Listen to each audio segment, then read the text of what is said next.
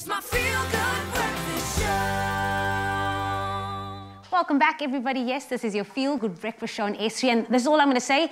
Tiger Woods better watch out. We got to capture some amazing footage of a rising star, five-year-old boy by the name of Malachi Salie. Oh, how incredible. Hailing from Mitchell's Plain, he shows a lot of promise in the sport of golf, and he's a little guy with a big swing, and boy, does he have a bright future ahead of him. Now, we visited him at the Hazendal Golf Course to check out his skills. Check this one out.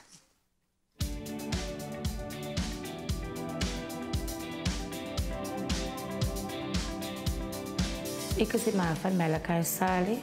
Hij speelt golf en ik is bijna trots op hem. Hij is vijf, hij is bijna jong, maar hij geniet het om golf te spelen. Mijn pa speelt golf en dan heeft mijn pa voor hem in voor Thailand geleerd golf spelen. Oh, I'm excited, I'm proud and really I'm overwhelmed.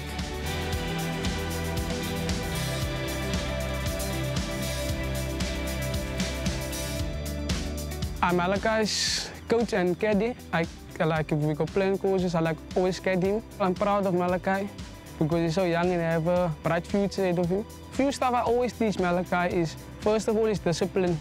The way he behave in front of people, is respect towards other people, and always to keep him down on earth.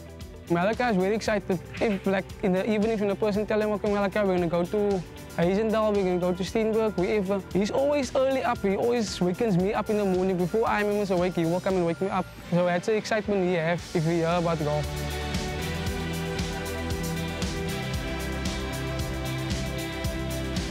My name is Shane Ray. I'm the head professional here at Hazendal Golf. We have uh, a wonderful facility here that's opened only recently, about six, seven months ago, so we're still very much in our infancy. The opportunity to grow the game of golf, not only for adults, but definitely for juniors. And so we're going to be uh, obviously uh, running various youth development programs and working with the various golf union bodies to obviously get junior development and also players of less privilege, obviously more involved in the game of golf. Now, the program is important because not everyone, and especially juniors, have the opportunity to come to a facility like Hazendal. A world-class facility, in it, not only in its practice sense, where we have a driving range, but also a, a par 3 golf course as well. So together with that, you know, the technology that goes with trying to learn the game, not that too much of it gets applied at a young age, but to have an understanding of making sure that juniors are taught correctly in a very simple method, but also having world-class coaches available. I hope so Malachi is so he, he pursue in his golfing career and if he's in top, he must always come back to our poor communities and like serve him. So I don't want him to like forget where he come from.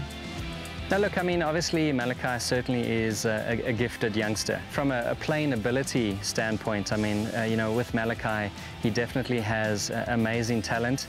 And I think if he has the opportunity to, to be nurtured Uh, and guided along and have wonderful practice facilities and good coaching, he has every opportunity, if it is his desire, to become world class.